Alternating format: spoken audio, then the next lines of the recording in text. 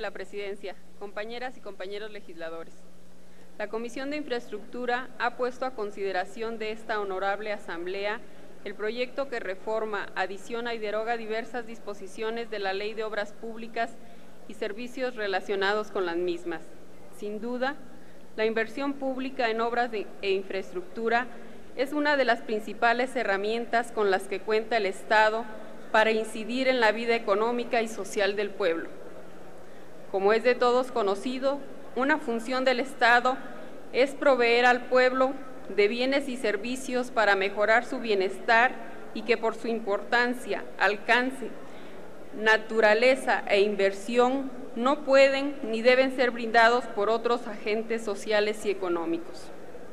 Entre estos servicios se encuentra la educación, la salud, la seguridad y la infraestructura.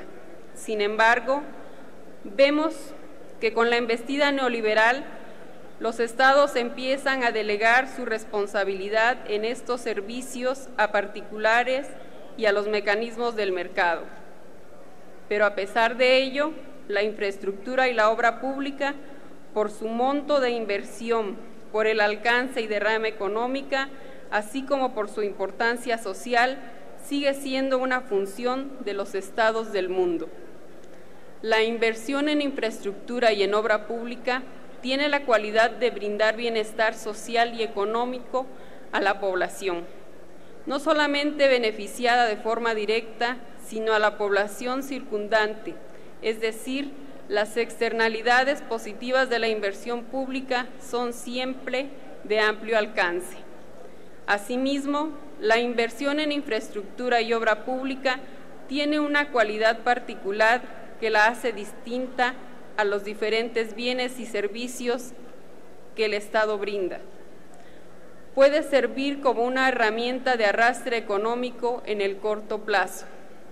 Recordemos que la obra pública, dependiendo la magnitud de los proyectos, puede arrastrar a toda una economía estancada, ya que demanda mano de obra, insumos técnicos, materia prima, actividades de gestión, entre otros insumos necesarios para poder llevarle a cabo.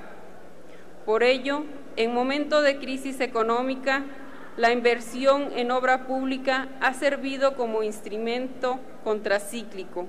Hoy, nuestro país requiere voltear a ver la obra, obra pública de nuevo el panorama económico que se vislumbra para el próximo año no es nada alentador. La caída del precio del petróleo, la depreciación del peso, el aumento de las tasas de interés y la baja en la demanda mundial de nuestros productos nos ha mostrado que el mercado externo, aquel que se ha apostado como palanca de desarrollo, se está agotando. Por ello, es necesario cambiar el rumbo del país es necesario voltear al mercado interno. Este año, el Fondo Monetario Internacional ha recomendado a los países del mundo voltear a sus mercados internos, fortalecerlos e impulsar la inversión en infraestructura, pues consideran que el mercado mundial seguirá estancado por algunos años más.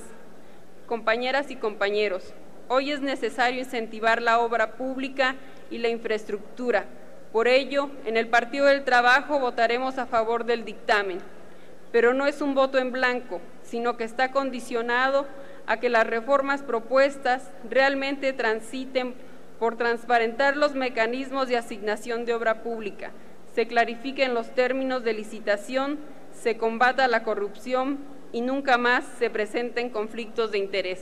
Es cuanto. Cámara de Diputados, sexagésima segunda legislatura.